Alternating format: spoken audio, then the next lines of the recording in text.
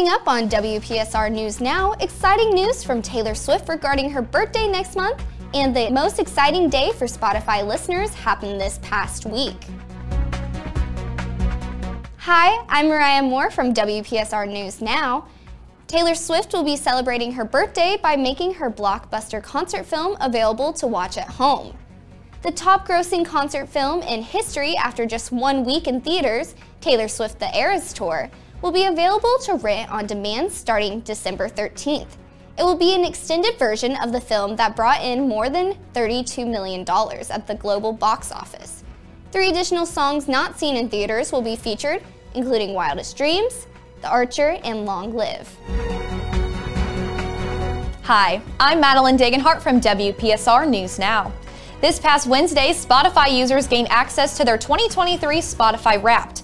Since 2016, Spotify has provided personalized statistics at the end of the year for their users that show their top listened to artists, albums, songs, and more.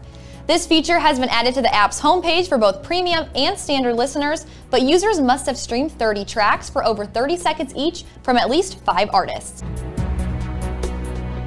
Mark Cuban says he's ready to leave Shark Tank. On the Showtime podcast All the Smoke, Cuban says the next season of the ABC series will be his last. Cuban first guest starred on Shark Tank in season 2 and will leave season 16.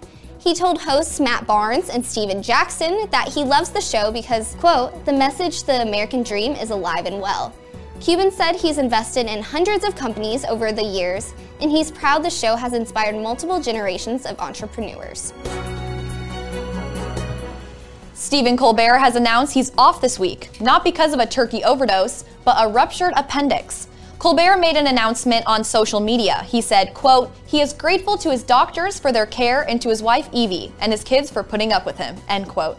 This week, The Late Show planned on featuring guests including Jennifer Garner, Barbra Streisand, and Patrick Stewart, according to CBS News.